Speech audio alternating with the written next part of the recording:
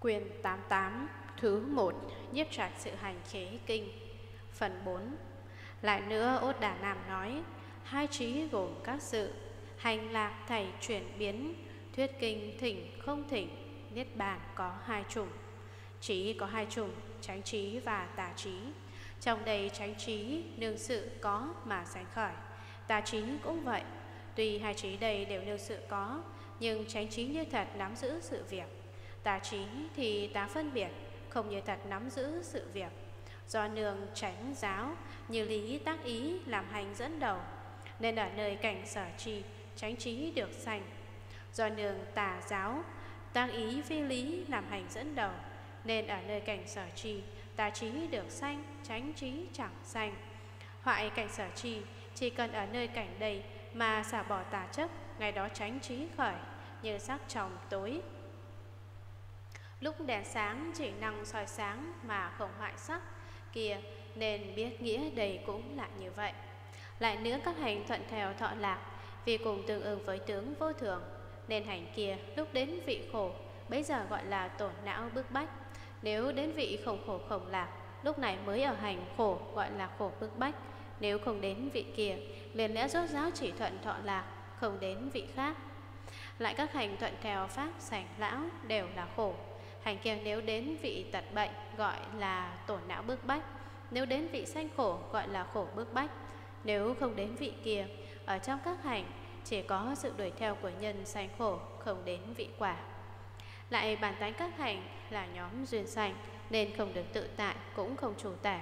Nếu tất cả hành kia có chủ tả, Thì tùy tánh vô thường, Lẽ tùy sở thích mà lưu truyền không dứt, Hoặc không khiến rơi vào sanh, Nói rộng cho đến tử lại nữa khế kinh có hai chủng, Một nhân thỉnh mà thuyết, Hai không nhân thỉnh mà thuyết. Nhân thỉnh mà thuyết, Nếu có bộ đặc giả là do tránh giáo Về tướng các hành đây Mà được điều phục, Thì nhân sự thỉnh cầu của kia Mà truyền dạy tướng các hành như vậy. Không nhân thỉnh mà thuyết, Như ở trong hội Có đến vài trăm chúng Dùng vô lượng môn thiện lành vi diệu để tuyên thuyết, Hoặc đại sư vì muốn tránh các kiểu trụ nên tác thuyết như vậy như vậy cho đệ tử cận trụ Ananda. Lại nữa do ba phần nên nhiếp thọ viên mãn niết bàn. Một do tùy thuận dạy trao, hai do tránh quán sát hết thảy hành, ba do vĩnh viễn đoạn hết thảy phiền não. Tùy thuận dạy trao, đây nhiếp thuộc thần biến ký thuyết dạy dần của Như Lai. Như Lai tùy muốn mà ký thuyết tâm của người, do tự định ý dùng ba hành tướng quán chiếu khắp tâm người hoặc tâm chuyển diệt lâu dài, hoặc tâm diệt không gián đoạn, hoặc tâm ở sở duyên hiện tại chuyển, từ định khởi rồi, sau tùy nhớ nghĩ phân biệt, tư duy tâm người đã thọ trong định. Như điều đã thọ, tức như vậy ký, ông có tâm như vậy, đó là tâm diệt lâu dài. Ông có ý như vậy, đó là tâm diệt không gián đoạn. Ông có thức như vậy, đó là tâm hiện tại chuyển. Đây căn cứ trùng lại, không căn cứ sát na tư dùng thần biến ký thuyết như vậy làm chỗ nương. Nên ở nơi bà xứ mà vì dạy rằng Một, ở hành xứ cảnh giới hiện tiền Khai mở cho phép như lý tăng ý Ngăn chặn dừng dứt không như lý tăng ý. Hai, ở trụ xứ ngăn chặn dừng dứt tầm tư bất tránh Khai mở cho phép tránh tầm tư. Ba, ở hành xứ duy tù chỉ quán Khai mở cho phép khiến đoạn các hành chờ đoạn Cũng khiến vĩnh viễn lìa hệ buộc của các phiền não mà chứng niết bản Như vậy tuyên thuyết ba xứ là hành xứ, trụ xứ và y xứ khiến từ các tùy phiền não tầm được thành tịnh. Lại tránh quan sát các hành quá khứ vị là hiện tại gọi là tránh quan sát tất cả các hành. Lại có ba lậu, do ba lậu đây làm tiền dẫn mà có dục hại. Vì dục hại làm tiền dẫn mà có tầm từ nhiệt não. Vì tầm từ nhiệt não làm tiền dẫn mà sanh truy cầu yêu não. Vì tất cả chủng đều vĩnh viễn đoạn trừ, gọi là tất cả phiền não vĩnh viễn đoạn như vậy lúc an trụ tâm thiện giải thoát lạc trú vô tướng không hãi sợ. Ở trong hiện pháp gọi là nhập trong số viên mãn bát niết bàn. Lại nương ba pháp nếu nương nghĩa riêng mình được gọi là trụ quy y. Nếu nương nghĩa của người được gọi là trụ cổn bãi. Sao gọi là ba? Một, bên trong nương như lý tăng ý làm tiền dẫn. Tùy pháp hành pháp. Hai, nương lắng nghe tránh pháp trừ Phật sở thuyết. Ba, nương thân cận bậc thiện sĩ nội tránh pháp không nương thân cận các kẻ ngoại tránh pháp, các kẻ không phải thiện sĩ, tất cả ngoại đạo. Bà Pháp như vậy nên biết hiển dạy có bốn chủng Pháp cần thực hành nhiều. Đó là thân cận bậc thiện sĩ, lắng nghe tránh Pháp như lý tác ý và tùy Pháp hành Pháp. Lại do ba duyên và năm chủng tướng nên biết chứng đắc một phần niết bàn kia. Sao gọi là ba duyên? Một, vì biết khắp khổ. Hai, vì cảm nhận sâu việc thuận theo các hạnh khổ có các quá hoạn. Ba, vì vượt qua sầu thán tất cả khổ. Sao gọi là năm tướng? Một, nhận biết khi tiếp xúc với chủng loại tướng khổ phát sành sầu thán. Đây gọi là biết khắp tự tánh của kia. Hai, biết có chủng tử pháp kia được sanh. Đây gọi là biết khắp tánh nhân của kia. Ba, biết sở hành cảnh giới sở trì của chính nó. Đây gọi là ở nơi kia, biết khắp tánh duyên. Bốn, tùy quán. Nếu trước trước ngã và ngã sở đều là thuận theo các hành khổ. Đây gọi là biết khắp tánh hành của kia. Năm, tùy quán, các hành ba đời hệ buộc dục giới có quá họa, nàng đoạn tất cả các khổ sầu. Nên biết do ba duyên và năm tướng như vậy, đạt được một phần niết bàn kiềm, do sự khả ái chuyển biến vô thường, tâm buồn bi thương nên gọi là sầu. Do kia phát khởi than thở nghẹn ngào nên gọi là thán, nhân đầy buồn giận nên gọi là khổ. Do kia bên trong ôm lòng oán kết nên gọi là yêu, nhân đó càng thêm mê loạn gọi là não. Lại tùy một trong số các nỗi đau hiện tiền như tán mất tài bảo, bệnh tật không người thân thích. Hết thảy sự việc khiến sanh yêu não nên gọi là sầu. Do nương đầy nên kế đến phát lời ai oán, buồn than khiến thân phiền nhiệt gọi là vị thán khổ. Vượt qua sầu than phiền nhiệt của thân rồi, bên trong bị thiếu đốt mà ngoài dường tĩnh lặng, tâm vẫn chưa bình ổn, gọi là vị yêu. Do nhân duyên hoặc quá một ngày, hoặc hai ba năm, hoặc mười ngày đêm, nửa tháng, ý vẫn chưa an ổn nên gọi là não. Lại nữa Ô Đà Nam nói, tránh mầm kiến đại nhiễm, một hướng học bốn sợ, trong thiện thuyết ác thuyết, túc trụ tùy, niệm sai biệt. Do bốn nhân duyên như lai không cùng, những kẻ thế gian mê chấp kia cùng oán, đối, tranh luận, nhưng thế gian kia khởi tả phân biệt cho là oán tranh. Những gì là bốn? Một, vì tuyên thuyết nghĩa đạo lý. Hai vì tuyên thuyết nghĩa chân thật. Ba vì tuyên thuyết nghĩa lợi ích. Bốn vì có lúc thuận theo thế gian mà chuyển. Trong đây như lai nương bốn đạo lý để tuyên thuyết tránh pháp. Đó là quán đãi đạo lý tác dụng đạo lý nhận thành đạo lý và pháp nhĩ đạo lý. Như trước đã nói do đây như lai gọi là lời pháp như lai chọn không đến chỗ của người mà hưng khởi tranh luận vì cớ sao những người thế gian vì đề cao nghĩa mình phản đối nghĩa người nên hưng khởi tranh luận. Như Lai vì lấy tất cả nghĩa người, tức là nghĩa mình nên không tranh cãi. Chỉ trừ vì ai mẫn muốn khiến những kẻ thế gian kia thông hiểu nghĩa mà đi đến chỗ người tuyên thuyết tránh pháp. Nhưng vì những kẻ thế gian tà chấp ngu si điền đảo cho là nghĩa mình nghĩa ta mà có sai biệt nên hưng khởi ngã tránh. Do nhân duyên đây nên biết như lai gọi là lời đạo lý. Lại, Như Lai gọi là lời chân thật. Nếu những người thế gian thông minh nhạy bén cùng tin là có, Như Lai đối kia cũng thuyết là có, Đó là tất cả hành, đều là vô thượng Nếu những người thế gian thông minh nhạy bén cùng tin là không, Như Lai đối kia thuyết cũng thuyết là không, Đó là tất cả hành, đều thường trụ. Lại, Như Lai gọi là lời lợi ích như những kẻ thế gian tối tăm mù lòa ở nơi pháp thế gian tự mình không thể rõ biết. Như Lai đồ hí kia tự hiện đẳng giác vì họ khải tỏ. Lại Như Lai có lúc tuệ thuận thế gian mà chuyển. Như A Tử, Lama Đăng Chi Rất khó khăn trong việc mưu sinh. Những người thế gian nương kia giả lập danh tưởng phước lớn Tài cao vật thực nhiều. Như giả lập danh tưởng của thế gian kia Như Lai tùy kia cũng thuyết như vậy. Lại như cùng một sự việc Nhưng ở quốc độ này giả lập danh tưởng như vậy và quốc độ khác lại lập danh tưởng khác. Như Lai tùy kia cũng thuyết như vậy.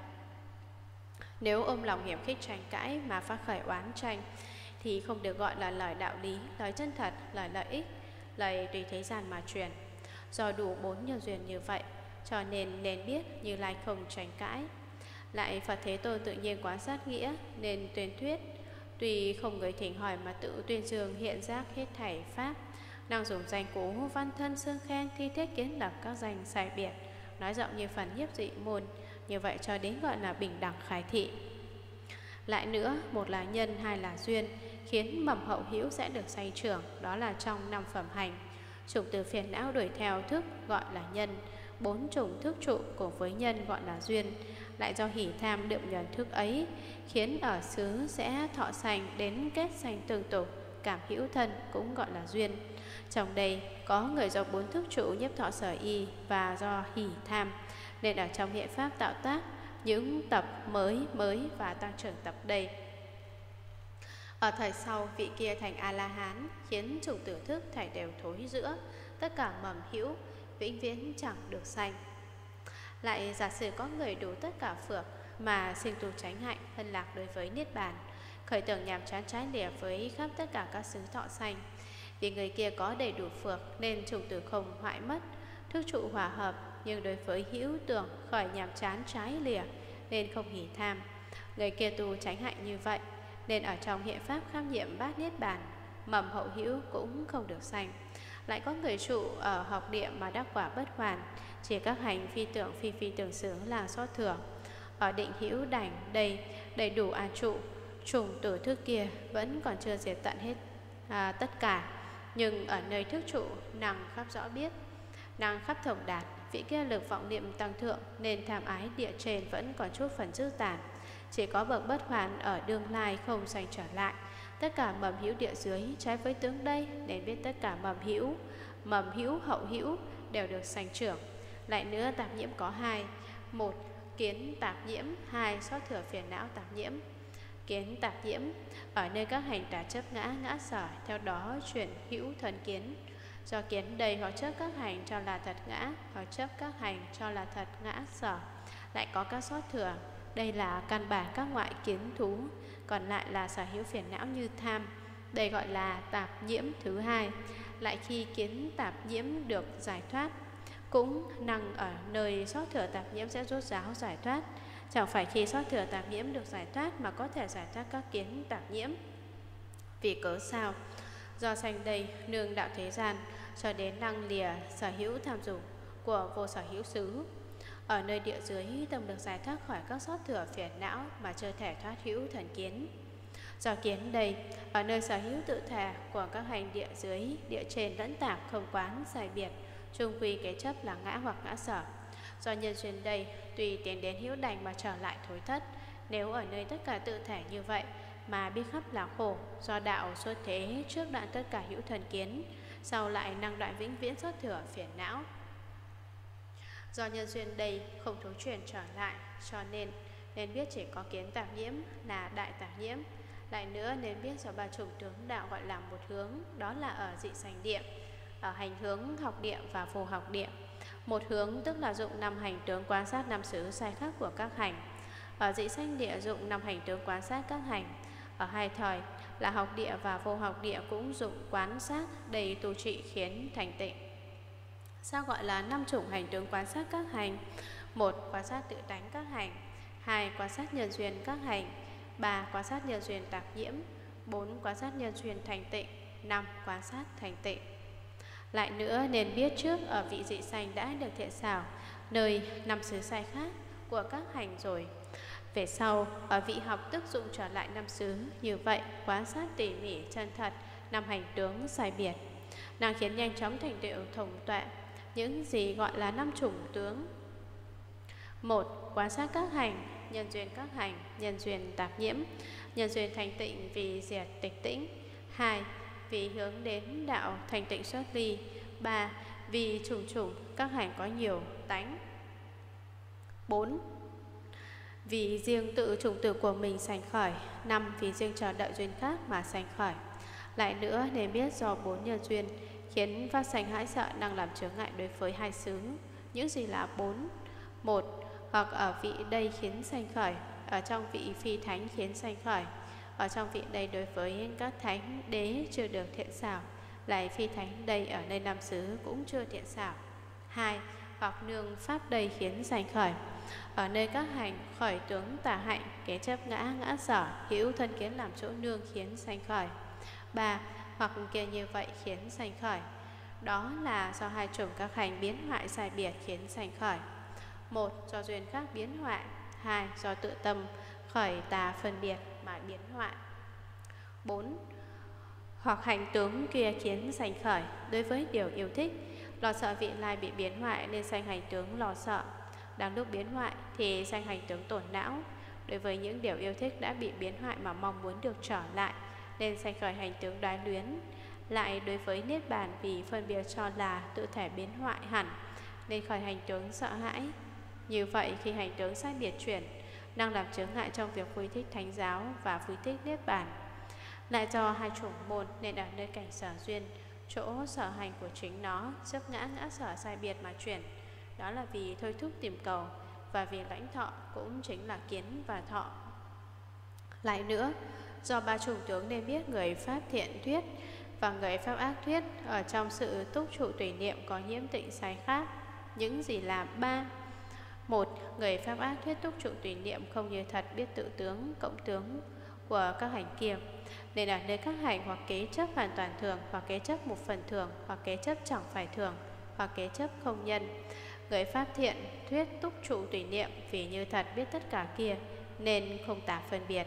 Đây gọi là sai khác thứ nhất của hài niệm. Hai người pháp ác thuyết tùy nương định mà phát khởi túc trụ tùy niệm. Chẳng thể như thật biết rõ là khổ nên sanh ái vị. Do ái vị nên ở nơi hành quá khứ, sanh sầu liên tiếp ở nơi hành vị lai, sanh sâu hân lạc. Ở nơi hành hiện tại, không thể tu hành, chẳng thể sanh sâu chán lìa diệt dục. Nên biết tất cả tướng của người pháp tiện thuyết trái với trên, đây gọi là sai khác thứ hai của hai niệm. Ba, người pháp ác thuyết như vậy, vì bị tạp nhiễm bởi bốn chủng tạp nhiễm tà hạnh, nên năng trêu cảm hậu hữu. Những gì gọi là bốn chủng tạp nhiễm một nghiệp tạp nhiễm. Hai kiến ngã mạn chuyển tạp nhiễm. Ba ái chuyển tạp nhiễm. 4. Tùy miên kia tạp nhiễm. Hoặc tạo tác tăng trưởng các nghiệp mới Hoặc lớp lớp tiếp xúc các nghiệp cũ rồi Mà không tiêu dung. Đây gọi là nghiệp tạp nhiễm. Hoặc ở nơi các hành tà phân biệt khởi hữu thần kiến Đối với hữu tình khác như sa môn, bà la môn Lấy họ so sánh với mình Tự cho mình hoặc hơn hoặc bằng hoặc thua. Đây gọi là kiến, ngã mạn, chuyển, tạp nhiễm. Ở bên trong bên ngoài mà phát khởi tham dục Nên biết tướng kia ở trong hành ái đây gọi là ái chuyển tạp nhiễm. Ở trong tương tục, ba phẩm thô trọng, kiến, ngã mạn và ái thường chuyển chuyển đuổi theo. Đây gọi là tùy miên kia tạp nhiễm. Bốn chủng như vậy tổng nhiếp làm hai là nghiệp và phiền não. Phiền não lại có hai là truyền và tùy miên. Ở trong các hành trước khởi tả chấp, sau sanh tham trước. Do lực hai chủng đầy tăng thượng, tuy có sót thừa phiền não tạp nhiễm mà chỉ chọn đây là căn bản của phiền não. Ở trong các hành mà không khởi tà chấp so sánh mình người gọi là kiến. Nếu đối với người khởi so sánh gọi là ngã mạn Tà chấp như vậy là phẩm vô minh. Do đây làm tiền dẫn khiến phát khởi tham trước gọi là phẩm ái. Do hai chủng phiền não căn bản đây, Ở trong sanh tử lưu truyền không dứt. Nếu người tránh tu hành cho phát thiện thuyết tỷ nại ra, Năng đoạn trừ bốn chủng tạp nhiễm như vậy ở trong hiện pháp năng bát niết bàn Lại do đây năng an trụ do giáo toàn mãn niết bàn nếu không như vậy, còn chẳng thể trụ một phần niết bàn kia hàng hướng rốt giáo. Đây gọi là sai biệt thứ ba của hài niệm.